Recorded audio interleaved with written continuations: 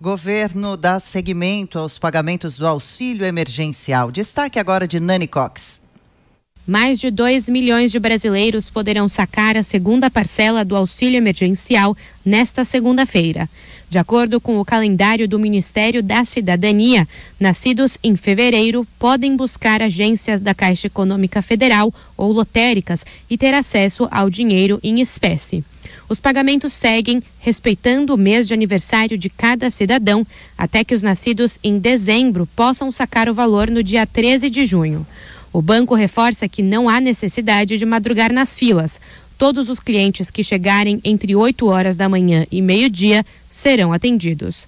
O calendário é o mesmo para beneficiários que colocaram outras instituições financeiras no cadastro. O valor já havia sido depositado, mas só podia ser usado em plataformas digitais ou para o pagamento de boletos.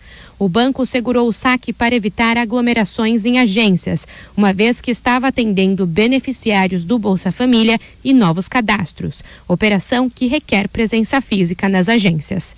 Até esse sábado, o governo tinha feito cerca de 108 milhões de pagamentos, o equivalente a aproximadamente 76 bilhões de reais.